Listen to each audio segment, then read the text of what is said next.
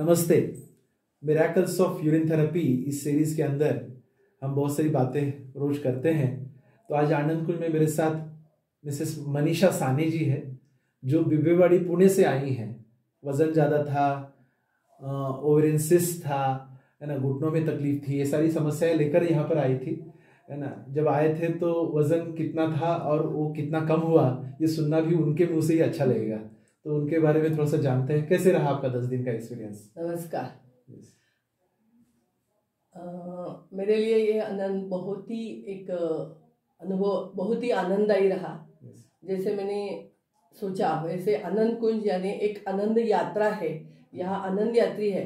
एक स्वास्थ्य का मंदिर है और इस मंदिर के देवता है डॉक्टर सर और उनकी सारी पूरी टीम। एक्चुअली मुझे ओवरी में सीज था इसकी वजह से डॉक्टर ने सलाह दी थी कि उनका ऑपरेशन करना ज़रूरी है आपका।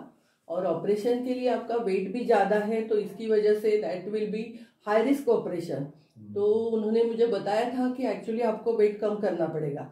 मगर एक्चुअली वेट कम करने के लिए मेरे पास जो टाइम था वो भी बहुत कम था। तो मैंने सोचा क्या करूँ? जिम लगाओ या क्या करूँ? अब इस उम्र में इतना ज़्यादा भागना इतना रोज का एक्सरसाइज वो भी नहीं हो पाता।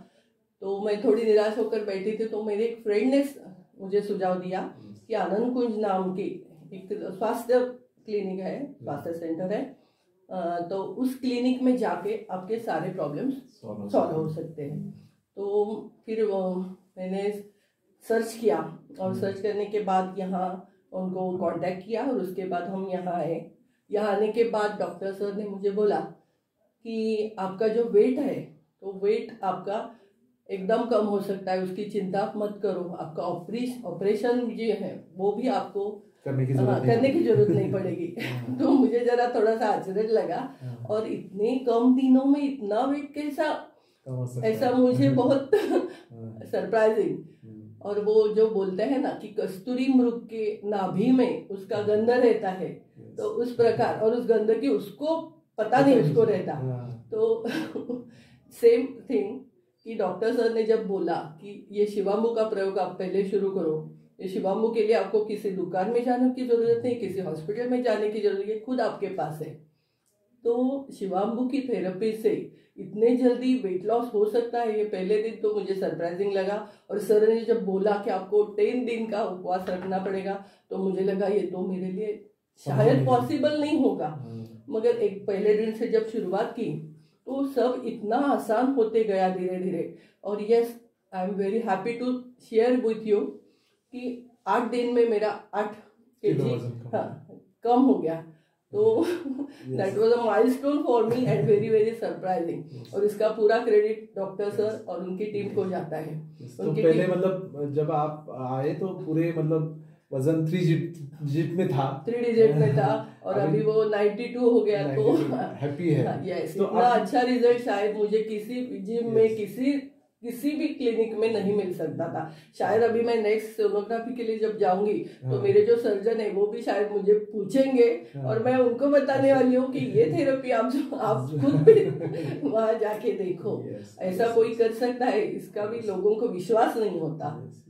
एक्चुअली लोगों को जब पहले दिन बोलते हैं कि आपको वज़न के हिसाब से आपको उपवास करना है हाँ। तो जैसे नौ दिन का ऑलमोस्ट नौवे दिन आपने जाके उपवास छोड़ा तो नौ दिन का उपवास आपने कर पाए ठीक है? तो उपवास करते वक्त आपको कभी भूख लगी कभी थकान नहीं ऐसे कभी एपिसोड हुआ? नहीं कभी भी नहीं, नहीं। एक दिन और एक पल भी मुझे ऐसा नहीं लगा कि मुझे कुछ खाना है। एक्चुअली मेरे हस्बैंड मेरे साथ आए थे। हाँ। उनका तो उपवास नहीं था तो वो नीचे जाते थे खापे मगर उन्होंने मुझे जब भी पूछा कि तुमको लग रहा है क्या कुछ भूख लग रही है मैंने बोला नहीं. तो ये उपवास करना शिवाम्बू की वजह से मेराकल लगता है? आसान हो जाता है? यस डेफिनेटली डेफिनेटली आसान भी होता है hmm. और सत्संग में जब लेक्चर्स में सर बोलते हैं hmm. तो इसका और भी महत्व हमारे दिल में ज़्यादा उभरता है। और बाकी भी सारा जो आपका प्रोग्राम है दैट इज़ योगाभ्यास प्राणायाम इसकी वजह से भी उसमें बहुत सारा बहुत सारी एनर्जी मिलती है। और मैंने मेरे बेटे को जब फ़ोन किया तो उसने मुझे पूछा भी तुम हाँ। इतना उपवास करिए मगर इतनी एनर्जी में कि कैसे बात कर रही हो? और मुझे मुझे खुद के लिए आश्चर्य लगता है कि जब एक दिन वो बमन विरेचन वाली जो प्रक्रिया हुई थी वो शंख प्रशालन वाली. तो उस दिन शायद वो तीसरा राउंड जो था हाँ. वो तीसरे राउंड पे मैं नाच पाई। इसका मुझे भी खुद आनंद लगा और इसका पूरा क्रेडिट सर को है। सर जिस स्टाइल से वो सब लेते हैं लोगों से लेके लोगों को छोटा बच्चा बना देते हैं और खुद बच्चा बन के उनके साथ सहभागी होते हैं। तो दैट वाज मिरेकल. सभी लोगों के लिए। हमारा एक अच्छा ग्रुप बन गया और सर ने भी सभी को अ, किसी उम्र का भेदभाव नहीं ये जेंट्स है ये लेडीज़ ऐसा कुछ भी नहीं। हम सारे एक आनंद कुंज के आनंद यात्री थे। Yes, yes, yes. मैं वैसे तो बोलती हूँ जैसे शुद्धि क्रियाएँ हुई शुद्धि क्रिया के बाद हमने दोपहर में समाधि साधना का भी अभ्यास किया। तो शरीर के साथ साथ मन के ऊपर कितना असरदारक ये थेरेपीज आपको लगी? Yes that is also important मुझे लगा कि वो एमएसआरटी का जो था Yes. और सिद्ध समाधि योग दोनों में चित्त शुद्धि, मन शुद्धि। और आपके सत्संग से जो शुद्धि हुई है तो सिर्फ़ शरीर की शुद्धि ज़रूरी नहीं है, उसके साथ मन की भी शुद्धि है। मन को जो शांति मिलती है। शायद मैंने सोचा ये वास्तु में कुछ है वो मंदिर में जाके जैसे हमको एकदम मन को शांति मिलती है हाँ, हाँ। वैसे आनंद कुंज में आके यहाँ के वास्तु में यहाँ के सब लोगों में ये सब एक सेवा भाव से जो करते हैं उस काम का ये असर है। शायद उनके पूज्य पिताजी का जो सेवा भाव है वो आप में पूरा का पूरा उतरा है उसका वारसा जो बोलते हैं हम। तो वारसा आप इतनी अच्छी तरह से चला रहे कि शायद लोगों को बहुत मीन्स लोगों को दवा तो कभी भी मिलती है मगर लोगों की दुआ अब जो आपको मिल रही है उससे ये संस्था का निश्चित एकदम आपकी उम्र कितनी है? फिफ्टी एट कंप्लीट 58 है तो उस दिन क्रिया के दिन आप खेल रहे थे दौड़ रहे थे नाच रहे थे तो क्या अनुभव रहा? कितने दिन के बाद कितने सालों के बाद आप खेल पाई? बहुत अच्छा बहुत अच्छा ये प्रश्न है आपका। Yes I enjoy that moment मेरे साथ एक और भी मेरे उम्र से मेरे उम्र से ज़्यादा भी दो तीन हम्म, लोग थे हम्म। मगर वो भी शायद हम आपकी तरह बच्चे बन गए थे। और ऐसा बोला ना की वय वाढतं मराठीमध्ये म्हणतात वय वाढतं पण मन तरुण असतं. तर ते मनाचं तारुण्य हळूहळू वयावर निश्चित परिणाम करेल. आणि सगळ्यात और एक मैं बात बताना चाहती हूँ सर जैसे है वैसे ही उनका पूरा स्टाफ मीन्स आपको आनंद कुंज में एंट्रेंस करते ही आपको मिलने वाली एकदम हसतमुख वाली वो प्रसन्न सोनाली और आपके सारे टीममेट्स जो एकदम प्यार से दुलार से सब हमको मसाज मालिश एंड ऑल ट्रीटमेंट्स वगैरह सब चलता है। तो वो पूरा टीम आपका बहुत ही.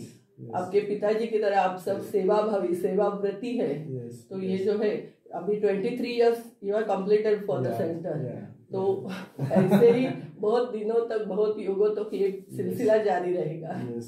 तो अभी एनर्जी लेवल कैसी है? Yes definitely it is very very जैसे एक सेंट पेज थे घुटनों में दर्द था कमर में दर्द था उसमें कितना रिलीफ है आपको? नहीं घुटनों का दर्द तो मैं भूल ही गई। ओके किस घुटने में था ये मुझे किसी ने पूछा तो मैं बता नहीं पाऊँगी इतना मेरा दर्द कम हुआ है Yes. बैक पेन भी कम हुआ है ये Yes. एक्यूपंक्चर वगैरह जो Yes. आपकी बाकी. फिजियोथेरेपीज है। उसका भी बहुत और वो देने वाली जो डॉक्टर्स है वो भी इतनी अच्छी है। एकदम बढ़िया. बढ़िया तो 2023 की शुरुआत में ही आपने शरीर का डिटॉक्स किया है हाँ जाके फिर भाई एक बार सोनोग्राफी करेंगे तो मुझे लगता है कि आश्चर्य. होगा. है ना मेरे ख्याल से. सर्जरी की ज़रूरत ही नहीं पड़ेगी। ये विश्वास आपके अंदर जगह है। डेफिनेटली ये विश्वास आप ही ने दिया है। तो शिवाबू के बारे में आखिर में क्या लगता है? शिवाबू की इज़ मिराकल मैंने सारे लोगों को देखा यहाँ कैंसर के पेशेंट है अल्सर के पेशेंट है हार्ट वाले पेशेंट है ये सारे पेशेंट यहाँ मेरे सामने एक कैंसर सेकंड स्टेज वाला पेशेंट था। हम्म, तो यहाँ आने के पहले उसको कुछ भी खाने के लिए नहीं चलता था हम्म। मगर यहाँ आने के बाद डॉक्टर के हम्म। ट्रीटमेंट के बाद शिवांगू थेरेपी के बाद उसने खाना शुरू किया और उस खाने का उसको कुछ भी yes. असर नहीं हुआ। Means he was so happy मुझे हाँ। लगा सर आप ये जो दुआ ले रहे लोगों से। Yes, yes, आपका yes. बहुत ये संचय ऐसा ही रहेगा। आप बहुत बहुत बहुत बड़े अमीर बनेंगे इस के कारण। यस बहुत बहुत धन्यवाद है।